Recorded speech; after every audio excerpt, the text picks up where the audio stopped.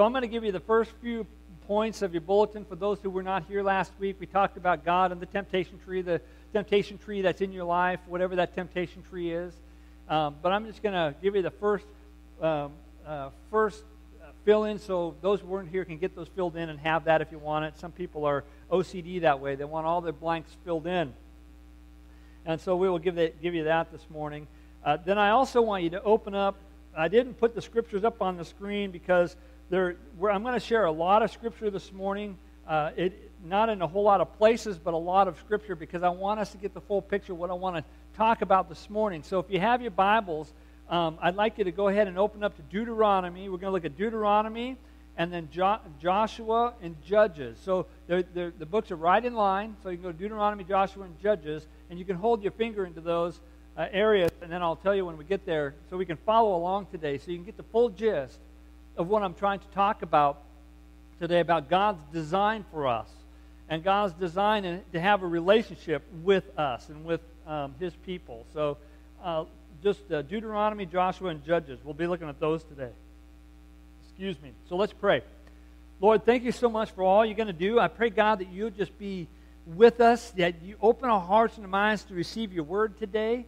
I pray, Lord God, that you'll just uh, um, convict our hearts I pray, Lord Jesus, that if we look at this nation that is falling apart, then I pray, Lord Jesus, that, that we would be able to be the light shining in the darkness, and we'd be able to show Christ to, to those in need. We would be able to show joy when there's time of, of, of despair. And I pray, Lord God, that we would be able to um, be on fire for you. We pray for a revival in your house. We pray for revival in your land. We pray for revival in the hearts of your people, Lord Jesus, that we be revived I think we've been sleeping way too long, God. And I pray, God, that we would wake up. There would be a great awakening, Lord God, in your word, uh, in the hearts of your people, that would just be going out, and that we would be able to show that no matter, no matter how hard it gets, no matter how many laws can be, can be made to, to, to, to um, so, so we can't distribute your word, that we stand firm in your word anyway because you are the word. You are the hope. You are the life that we look for.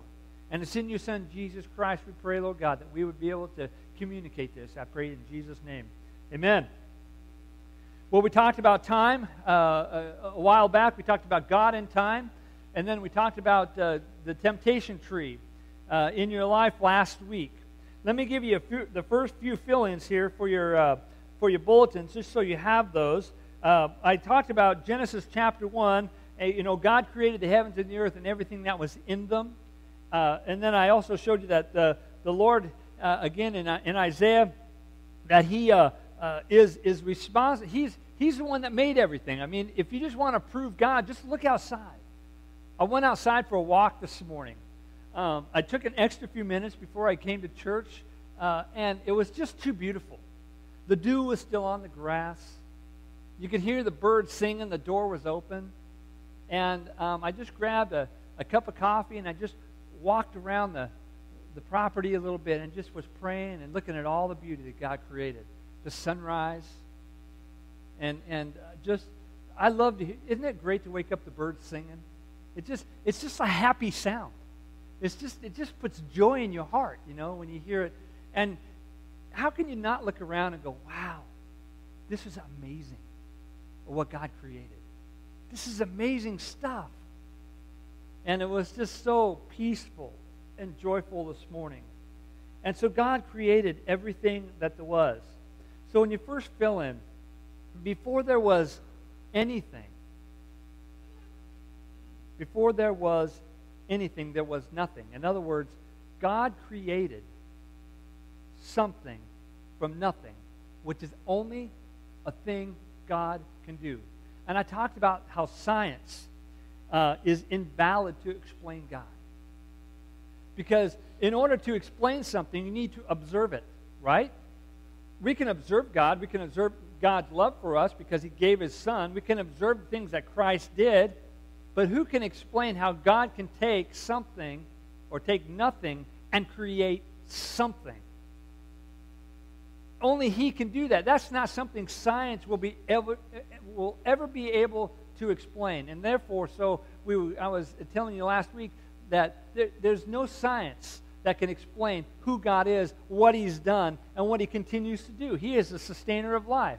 So, therefore, science is invalid when it comes to explaining God. And I gave some examples of that. And then I said that God created. He created all the creatures of the sea. He created the, the creatures that, that, that roam on the land.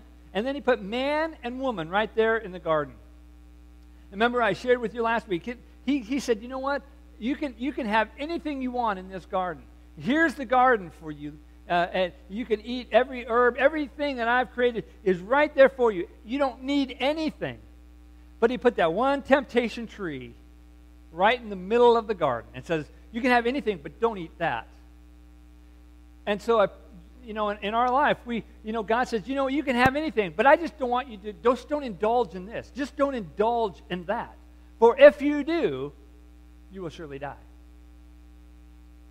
And so they had all these things what else more could they want? They walked with God in the garden. In fact, it says in Genesis 1 29 through 30, it says, And God said, See, I have given you every herb that yields seed, which is on the face of all the earth, and every tree whose fruit yields seed. To you it shall be for food. Also, to every beast of the earth, and every bird of the air, and to everything that creeps on the ground in which there is life, I have given every green herb for food. And it was so. You see, they had everything that they could have wanted, anything they need, but they wanted to grab from the one thing that they couldn't have. And that's the way it is in our life. We have we don't we don't really need anything. We have everything we really need, but but we think we need this and we need that, or we want this and want that and then we fall into sin because we want to go after the one thing in our life that we should not pursue, the one thing in life we should not go after. We have everything we need. But we want the one thing that is forbidden, the forbidden fruit of our life, that temptation tree. And that's the one thing that we will go after. And then when we go after it, we realize what our eyes are open. We already know sin, so I'm using this as kind of a metaphorically here, okay? But, you know, when we go after that one thing, we know we're not supposed to. We know we shouldn't indulge in it. We know that it could destroy us, but we do it anyway. And then we come to the point and go, wow, now I'm really sorry I did that because look at all the consequences and all the stuff that's falling down around me because I went after that one temptation tree in my life that I knew that I should not pursue, but I went after it anyway. And then guess what? We fall. We find ourselves ashamed and naked, which is how Adam and Eve found themselves. And that's where I want to pick it up. In Genesis 3 6 through 8, it says, So when the woman saw that the tree was good for food, now men, do not goad your wife, okay? Yes, she ate first, but it was until both of them did it that they sinned, okay? but she thought it was good for food and it was pleasant for the eyes. And that's how much of, of life's uh, sinful things, it's pleasant to the heart. It's, it's something we want. And a tree desirable to make one wise. She took of its fruit and ate. She also gave to her husband and with her, uh, with her, and he ate. And then here it goes. It goes. Then the eyes of both of them were opened, and they knew that they were naked. Who told them that? And they knew that they didn't have any clothes on. And so immediately they went around, it says, and they sewed fig leaves together and made for themselves covering. You see, their eyes were open. They didn't even know they were naked in the garden. But it was when sin entered, they became ashamed. And not only were they trying to cover themselves in their nakedness, they were trying to cover the sin and the, and, and the shame of their sin in their own heart, and they were trying to hide from God. For it goes on to say, and they knew that they were naked, and they sewed fig leaves together and made for themselves coverings, and they heard the sound of the Lord walking in the garden in the cool of the day. They were walking with God. And he goes, Adam, Adam, where are you? Adam, where are you? And Adam and his wife hid themselves from the, uh, from the presence of the Lord among the trees in the garden. They hid themselves from God. Somebody whom they walked with. Because their eyes were open, they took of the one tree they shouldn't have t- taken from, and now they were ashamed and naked. They made clothes for themselves, and they hid from the one who wanted the relationship with them the most. And all they had to do was stay away from the one tree. And remember, I said last, last week, I said, you know, why would God put that tree there to begin with? Because without sacrifice, there is no love. Without deciding that, no, I won't take from that and I'm going to follow this over here, we cannot demonstrate our love for God. If we want to demonstrate our love for God, we deny the temptation tree in our life and we go after God and we go, God, you are the one that I want to pursue in my life. Therefore, I'm going to be a living sacrifice, and the things that are desirable to the flesh, I'm leaving over here, and I'm going to pursue God with all my heart, soul, and mind. And when we do that, then we begin to please God, and we're pleasing to Him. And guess what? We can start to have a clear conscience again. But we'll never have a clear conscience if we're not seeking to please God first and putting Him first in our life. So, in Adam and Eve's case, everything they had known the peace, prosperity, the unity, even their relationship with God it changed that day. They realized that they were naked, they became ashamed, they hid themselves from God, and the world itself also became a cursed place and became corrupt. And ever since humanity, we have been running from God. You know the difference today, though, than when they first sinned in the garden? In the garden, they hid themselves from God because they were ashamed of their sin. You know what the difference today is? We're proud of it. We don't hide our sin anymore. And it's in your face, God. I'm going to live any way that I want to, Lord. And, and you know what? I'm, I'm proud to display my sin for everybody to see. We're not even ashamed of it anymore. We've become so corrupt in a society. So we put it on, display, and we even invite others to participate along with us. And not only that, we write laws to make people participate along with it. How far we have come. How did we get here? Think about it. How in the world did we get to the place where we're at today? I was talking with somebody this morning, I think it was John. I was talking with him out there, and I said, Look, you know, isn't it amazing how corrupt this world is? But um, has the world really changed all that much? I mean, you go back and you look at Israel and you look at the sins of, uh, and, and all the warnings and, and, and the signs that, that God says, you know, obey my commands, serve after me, and I will heal your land and, and I will bless you. But we always turn our back on God. Is it really much different today? I don't know. But this I can tell you is that the reason we are here in the predicament that we're in today is because we have totally denied God in our life. We didn't want God in our schools. We didn't want God in our homes. We didn't want God, in, eh, you know, in our courtrooms. I'm amazed. I'm still amazed that we still put our hand on the Bible in the courtroom. I pray we never take that away. I heard just again, uh, uh, I don't know how true this is. Um, I, I, was kind of, well, let me just stick to this one. I, I, I shared this a few weeks ago you know, California right now is in the, in the process of, of making the Bible illegal to sell. And you know how they're doing it? They passed a law, and it passed, uh, good luck trying to enforce it. But they passed a law saying, you know what? Anything that preaches or anything that is against LGBT, anything that is against the way one person wants to live their lifestyle. I mean, you, you can't have any book out there that says the lifestyle you live is wrong. And therefore, if it says that if it doesn't agree with anybody's lifestyle, you can no longer sell it. And that bans the Bible. Because the Bible is about what pleases God, and it's about right and wrong. And if we come to the point where the Bible is illegal, and it's already happening in, the, in this country, that's amazing. But watch out because God will abandon a nation, and the nation will take the penalty of itself and God's wrath upon itself, and they're going to go, what happened? I thought God was a loving God. He is a loving God, so much so that He sent His Son to die for us. But He is also a God of righteousness. Remember last week I was saying, if He's the one who created everything, if He's the one who created us and put us here on the earth, then wouldn't He be the one that says, hey, if you want to be pleasing to me, here's how you live your life? I created you. I want you to have a relationship with you, but I don't I don't like this sin, I don't like that sin. If you want, so God is the one who has the right, being He is the creator, to, to say what is right and what is wrong if we want to please Him. But we want to please ourselves now. We're all self righteous and we don't care about God anymore. We don't want God in our lives. So, how did we get there?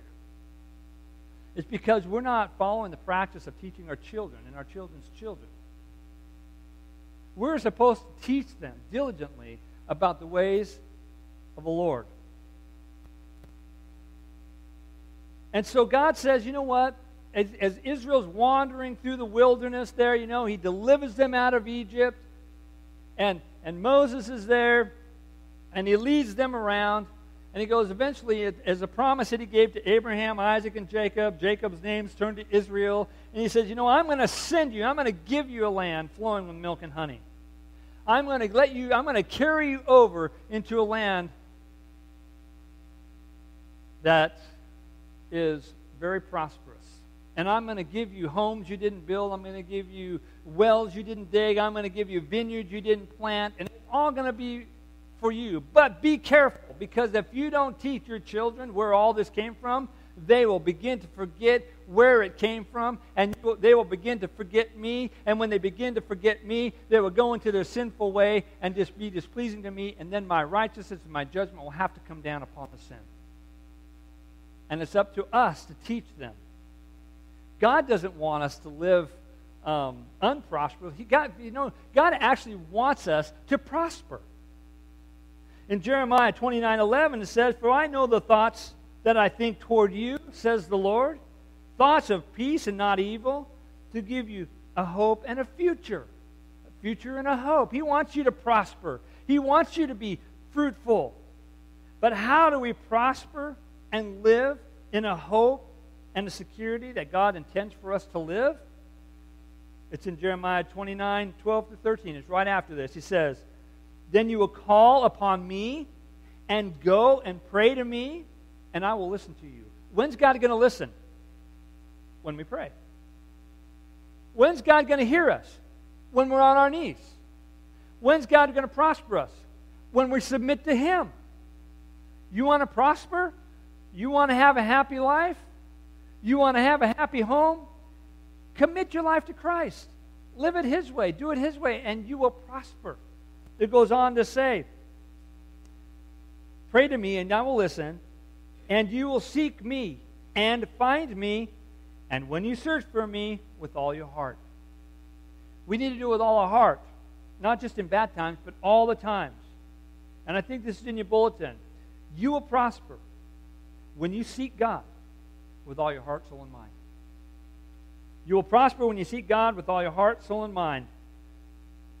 With all of our being, with everything we have, when we don't forget God. If we forget God, His judgment comes upon us. And we are warned in Scripture time and time again what will happen if we don't remember God and we don't teach them to our children. We see the results of it happening all around us right now of disobedience. The Bible says that God will move in your life when you submit to Him. You know, in the Bible, a lot of times they would go around and they would, um, when, whenever God wanted them to remember Him, and so they teach their children, He'd say, You know, I want you to build a pillar. I want you to pile up some rocks. I want you to do this. Uh, but I, and He goes, and, and I don't want you to teach these things to your children so you don't forget. So when they pass by, they go, Well, what is that there for? And they can remember and they can tell the story of what God did for them. So they would erect monuments, pile up rocks, build a pillar. And we, so they would be reminded of the past. So they wouldn't forget God. So they could live in the present and press on to the future with Him. To remember the future. In fact, in Joshua 4, Okay, if you're in Joshua, turn to Joshua chapter 4, 1 through 7. Joshua 4, 1 through 7, says, When the whole nation had finished crossing the Jordan, the Lord said to Joshua, Now remember, a whole generation had to die out before they could run in, go into, uh, in, into, uh, into the promised land. Remember Moses, he could see it from a distance, but he wouldn't cross over into the promised land. Now it's Joshua's turn to take them into the promised land. And here's one, one instance says in verse 2 Choose 12 men from among the people, one from each tribe, and tell them to take up 12 stones from the middle of the Jordan, from right where the priest stood, and to carry them over with you and put them down at a place where you stay tonight. So Joshua called together the 12 men he had appointed from the Israelites, one from each tribe, and said to them, Go over before the ark of the Lord, your God, into the middle of the Jordan. Each of you is to take up a stone on his shoulder, according to the number of the tribes of Israel, of the Israelites. To serve, now listen to this, to serve as a sign among you, and in the future, when your children ask you, What do these stones mean? Tell them that the flow of the Jordan was cut off before the ark. This is another miracle, by the way.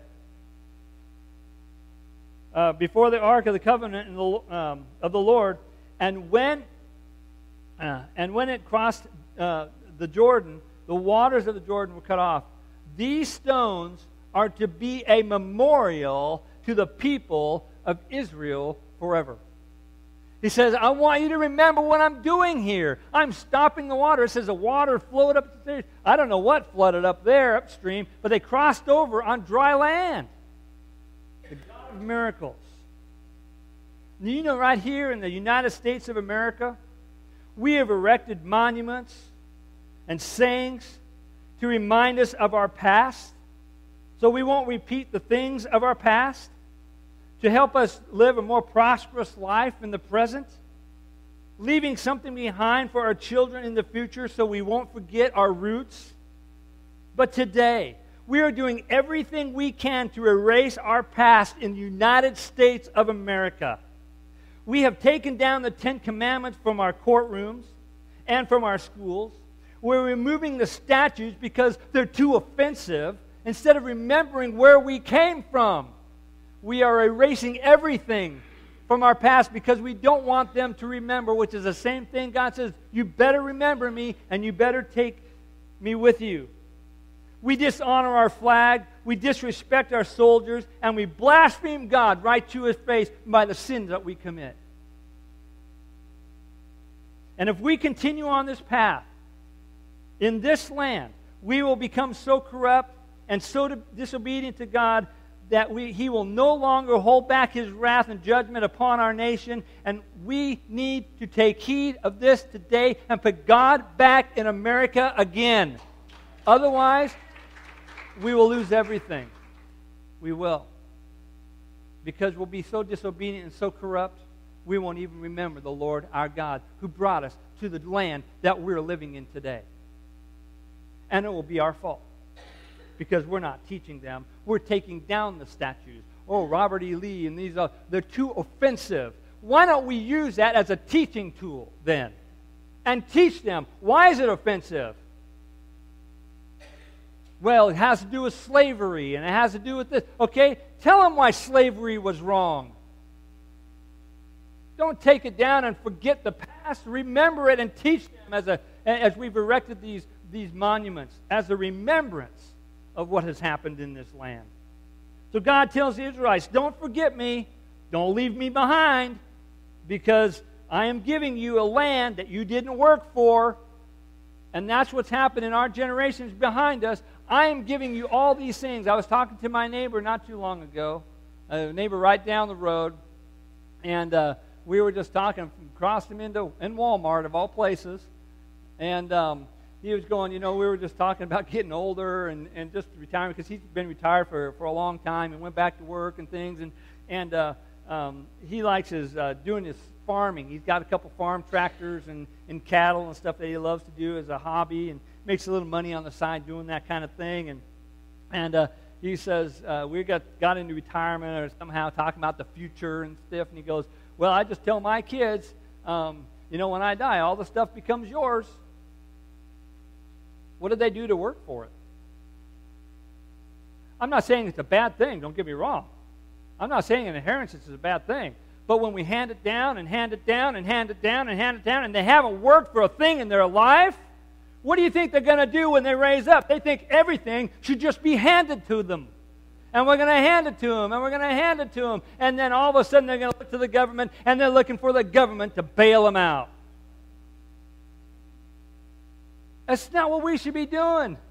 Life isn't just this big rosy thing of, of, of being handed down this and handed down that because he's what he's saying to, to the Israelites. He says, You know what? I'm taking you to a land of milk and honey. I am going to give you all of this stuff. And when you get this, be careful because if you don't teach these things, this pile of rocks, if you don't tell them what this is all about, they're going to forget me, and I will have no other choice but to exercise my wrath and judgment upon them. And do we want God's wrath and judgment upon our children? I would hope not.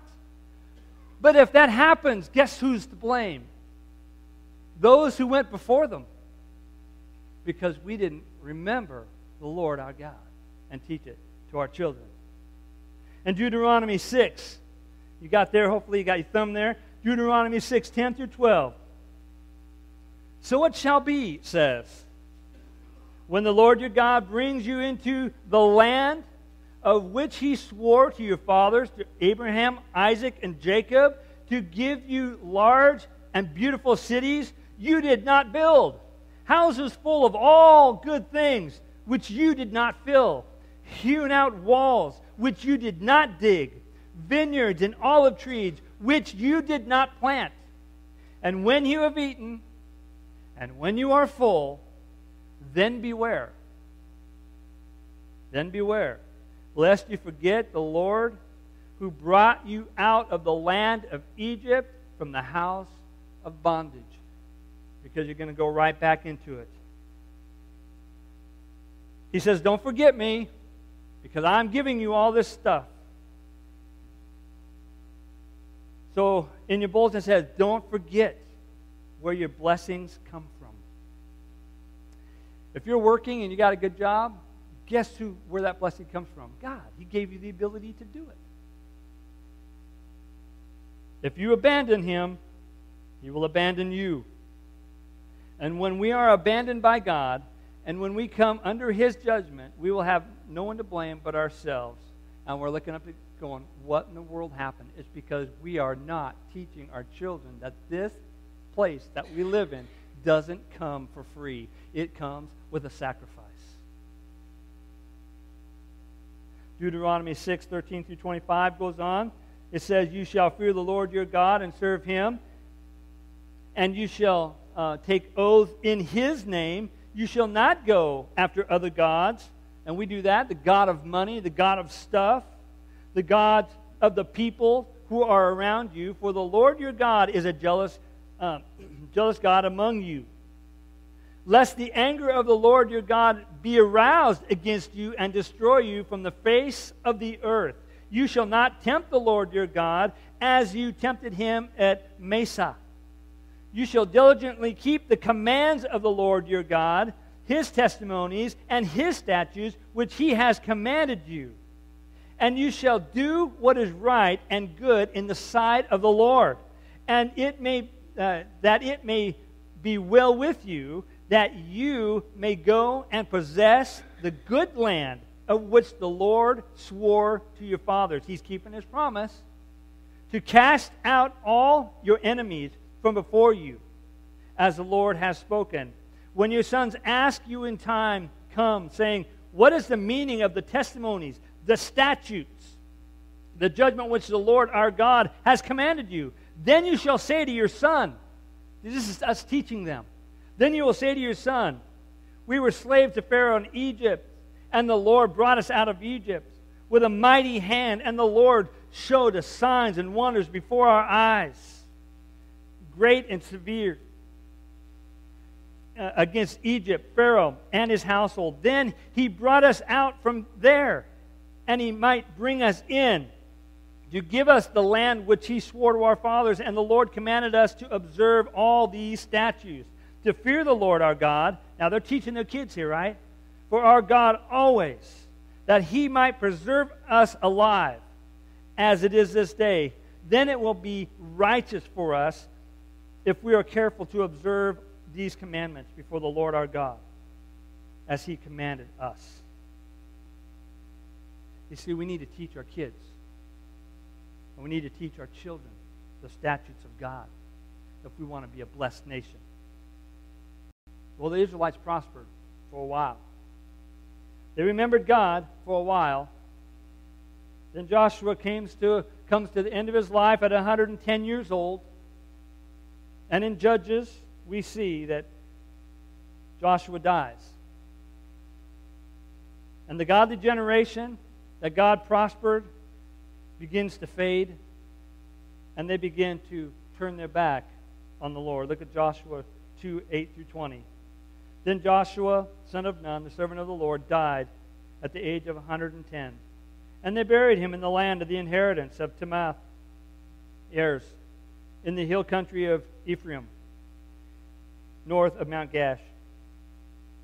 After the whole generation had, now listen to this, after the whole generation had been gathered to their fathers, another generation grew up who knew neither the Lord nor what he had done for Israel. A whole generation came up. He says, he's telling right here in Joshua, don't forget, teach your children, make sure they understand. And now we're seeing right here in Judges that a whole generation just grew up and they forgot the Lord their God. And listen what it goes on here.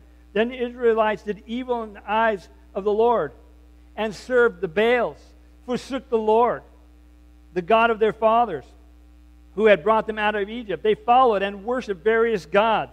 What do we worship in this country? Excuse me. For the people around them, they provoked the Lord to, um, they provoked the Lord to anger because they forsook him and served Baal of the Ashtoreth. And his anger against Israel uh, Israel, the Lord handed them over to the raiders to be plundered by them. He sold them to their enemies all around them. And it goes on here and it tells you exactly what happened to them. If we in this country ever deny God that much, it is not far to where this land will be plundered and taken over.